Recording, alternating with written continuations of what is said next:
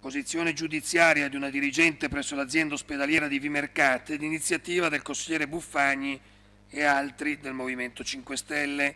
Risponderà per la Giunta l'assessore Mantovani.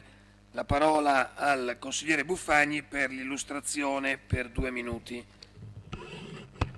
Grazie Presidente. Beh, Assessore Mantovani, siamo, visto che abbiamo discusso questa mattina la mozione di censura sulla sua situazione, lei diceva che appunto dall'indirizzo politico, bene, oggi ci troviamo a discutere ancora in merito alla posizione di una dirigente di un ospedale che ha nel suo curriculum eh, arresti domiciliari, eh, indagini in corso, perturbativa d'asta, peculato e quant'altro e noi vogliamo capire come mai Regione Lombardia non prende provvedimenti affinché questa persona venga allontanata da quei settori chiave, perché non è possibile che una persona di questo tipo continui a poter gestire ruoli apicali all'interno delle strutture pubbliche. Nello specifico l'ultima volta lei mi aveva risposto dicendo che rispetto alla nostra interrogazione in merito alla posizione della dottoressa ehm, aveva deciso di recedere dall'incarico da direttore del, del Dipartimento Gestionale Amministrativo.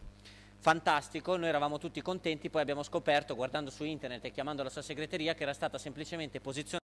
Allora crediamo sia quanto mai doveroso da parte sua che o riesce a farsi rispettare con questi direttori generali che non possono fare il bello e il cattivo tempo, oppure insomma eh, torniamo sul punto di questa mattina. Ha, ha sotto controllo la situazione dell'ospedale oppure no? Perché vogliamo capire quali sono le misure che intende prendere Regione Lombardia in merito a questa posizione. Davvero crediamo ne vada del rispetto, dell'onore di tutta la nostra regione. Eh, non possiamo, credo, andare avanti in questo modo e con questa situazione. Grazie. Grazie, la parola per eh, la replica della Giunta all'assessore Mantovani per quattro minuti. Grazie Presidente.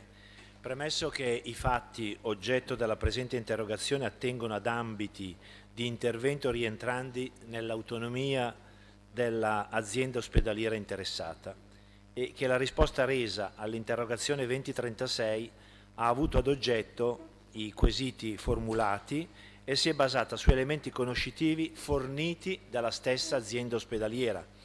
Si riportano di seguito le notizie fornite appunto dall'azienda di Vimercate.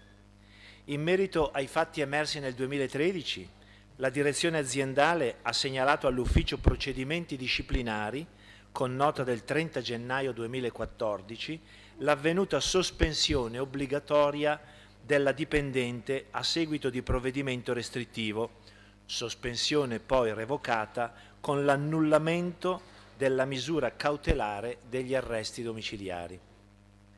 Conseguentemente l'Ufficio Procedimenti Disciplinari il 31 gennaio ha avviato il procedimento disciplinare a carico della dipendente, secondo quanto previsto dall'articolo 55 bis del decreto legge 165-2011 e sue modifiche ed integrazioni e secondo quanto disciplinato dal codice disciplinare per l'area della dirigenza sanitaria professionale, tecnica ed amministrativa. Attesa la particolare complessità dell'istruttoria, del caso e il contestuale svolgimento dell'indagine penale, l'ufficio citato ha deciso di sospendere il procedimento disciplinare ai sensi dell'articolo 55 ter, comma 1, del decreto legislativo 165 del 2011, fino al termine del procedimento penale, quindi fino alla sentenza definitiva. Con riferimento ai nuovi fatti recentemente emersi, la dipendente ha comunicato all'azienda il ricevimento della richiesta di rinvio a giudizio, in ottemperanza a quanto previsto dal codice disciplinare aziendale.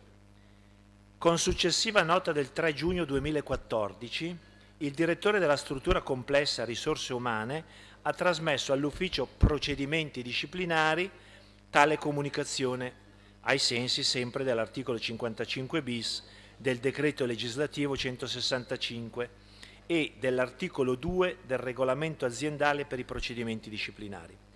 In tale fase l'ufficio ha 40 giorni di tempo per procedere alla contestazione degli addebiti e di fatto avviare un nuovo procedimento disciplinare a carico della dirigente in questione.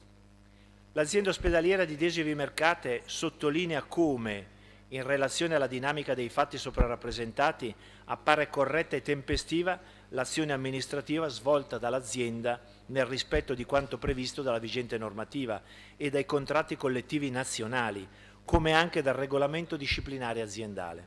Si precisa peraltro che le aziende sanitarie, nell'esercizio della propria autonomia e sotto la propria responsabilità, sono tenute ad ottemperare alle previsioni normative contenute nella legge 190 del 2012 e ai successivi decreti attuativi adempiendo agli obblighi di trasparenza previsti.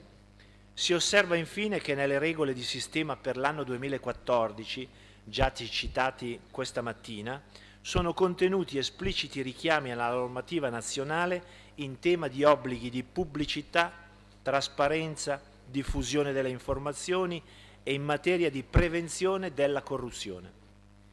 Quanto al primo aspetto, si è richiamata l'attenzione in ordine alla corretta applicazione del decreto legislativo 14 marzo 2013 numero 33, riordino della disciplina riguardante gli obblighi di pubblicità, trasparenza e diffusione di informazioni da parte delle pubbliche amministrazioni, con particolare riferimento agli obblighi di pubblicazione previsti dall'articolo 41 concernente la trasparenza del Servizio Sanitario Nazionale. In tema di prevenzione della corruzione si è rammentato che, in attuazione della legge 6 novembre 190 del 2012, disposizioni per la prevenzione dell'illegalità nella pubblica amministrazione, le aziende sanitarie sono tenute ad adottare entro il termine del 31 gennaio 2014 il piano triennale di prevenzione della corruzione, che di regola include anche il programma triennale per la trasparenza e l'integrità realizzato col decreto legislativo successivo 33. Si è evidenziata inoltre l'importanza della diffusione di una cultura della prevenzione del fenomeno corruttivo attraverso il coinvolgimento da parte del responsabile della prevenzione della corruzione di tutte le figure dirigenziali aziendali alle quali sono stati demandati l'applicazione delle misure di prevenzione, di monitoraggio dell'attuazione del piano e l'introduzione delle azioni correttive. Le azioni aziendali, come previsto dal Piano Nazionale di Prevenzione della Corruzione, vengono inoltre inserite in forma di obiettivi nel piano delle performance anche in funzione della, misura, della misurazione della performance individuale. Quindi come vede siamo nell'attesa della scadenza dei 40 giorni previsti dalle regole, ahimè, se, se, se volete il mio parere personale, che sono previsti dalle leggi vigenti. Grazie, la parola per la replica al consigliere Buffagni. Grazie Presidente. Beh, Assessore, lei sa quanto noi teniamo alle regole. È quanto mai paradossale però che questa persona si trovi in questa condizione da marzo e casualmente questa question time viene presentata e casualmente qualche ora prima viene fatta ripartire questa procedura nei confronti di questo avvocato. No? Quindi io credo sia quanto mai una cosa casuale e poco efficiente come ospedale, perché a questo punto doveva farlo per tempo. È inutile poi parlare di prevenzione della corruzione e quant'altro se noi mettiamo in figure apicali queste persone. Allora, lei prima stamattina ci diceva che la politica ha un ruolo di indirizzo. Bene, io credo che da parte sua questa possa essere un esempio nel quale può far valere la sua pressione politica, dato che non ci sono posti di lavoro, ma bisogna tutelare in questo caso eh, un'azienda ospedaliera anche se non è di Arconate, quindi crediamo davvero sia necessario da parte sua intervenire con una pressione politica affinché il direttore generale, indipendentemente da questi 40 giorni, prenda provvedimenti, perché non è possibile poi stupirsi del perché ci si trovi una marea di dirigenti coinvolti in queste azioni di corruzione quando anche davanti a un'indagine così grave e con degli atti così gravi noi ci appelliamo alla normativa, alle regolamentazioni, a tutti dei cavilli che insomma sui quali la politica dovrebbe anche un po' passare sopra. Grazie. Grazie.